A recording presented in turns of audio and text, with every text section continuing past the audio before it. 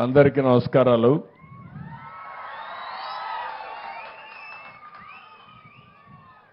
ఈరోజు నేను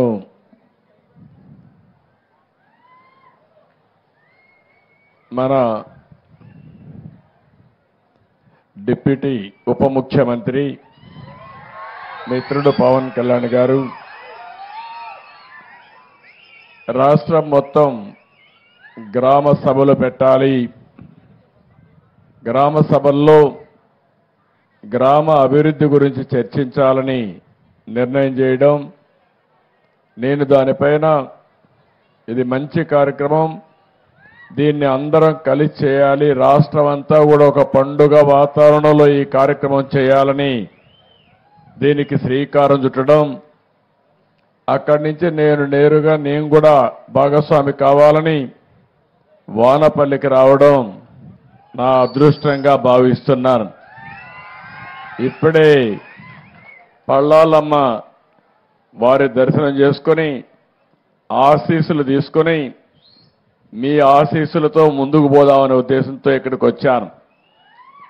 ఈరోజు మనందరం కూడా ఈ గ్రామ సభలో గుర్తుపెట్టుకోవాల్సింది రాబోయే రోజుల్లో ఏం చేస్తామో మనం చర్చించుకోవాల్సిన అవసరం ఉంది.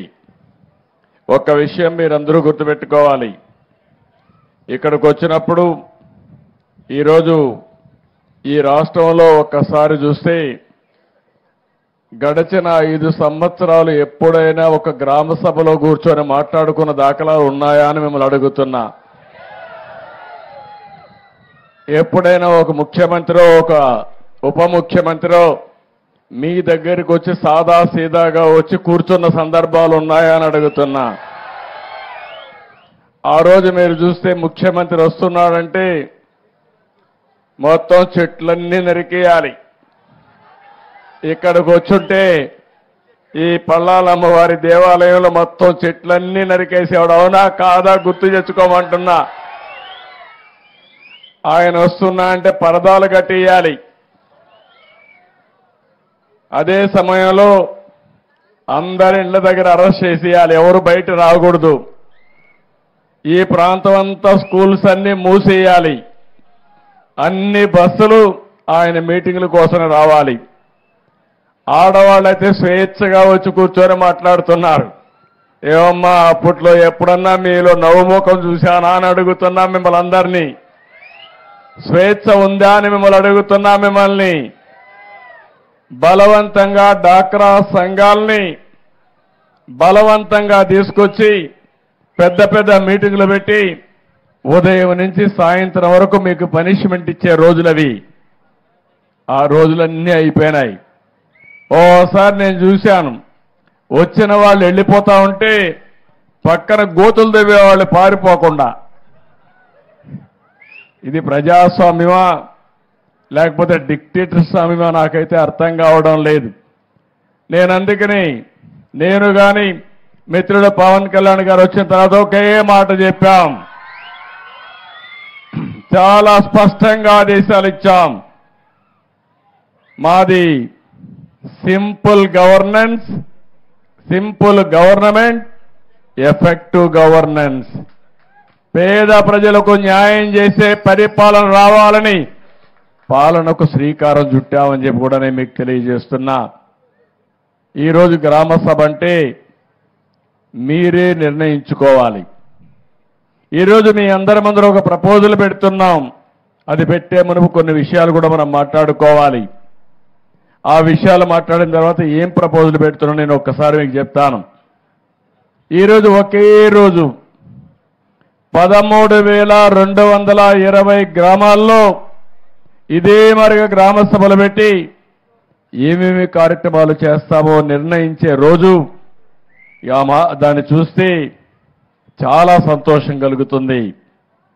ఈ సభల ద్వారా దీనికి కూడా ఒక రాజ్యాంగ రాజ్యాంగంలోని ఆర్టికల్ రెండు వందల నలభై మూడు ఏ ద్వారా గ్రామ సభలు పెట్టాలి. సర్పంచ్ పనిచేయాలన్నా గ్రామ సభలో పెట్టి మీ ఆమోదం తీసుకొని పనిచేయాలి గ్రామ అవసరాలు ఏమున్నాయో అవే చేయాలి తప్ప కాంట్రాక్టుల అవసరాలు లేదంటే సర్పంచ్ అవసరాలు కాకుండా మీ అవసరాలు ప్రాతిపదిక పైన చేయాలనే ఉద్దేశంతోనే ఈ గ్రామ సభలకు శ్రీకారం చుట్టాం. మహాత్మా గాంధీ జాతీయ ఉపాధి హామీ పథకం నరేగా. ఈ సంవత్సరం ఈ మీటింగ్ ద్వారా నాలుగు వేల ఐదు వందల కోట్ల రూపాయలకి శాంక్షన్లు తీసుకుంటున్నాం.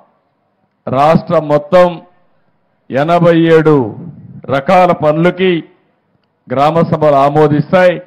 అవసరమైతే ఇంకా ఎక్కువ డబ్బులు కూడా ఖర్చు పెట్టడానికి అవకాశం ఉంది. ఎప్పుడు కూడా నరేగా అనే కార్యక్రమం ఎంతమంది పని కావాలంటే అంతమందికి పని కల్పించాలి. వంద రోజులు ఉపాధి కల్పించాలి. ఇది ప్రభుత్వ బాధ్యత.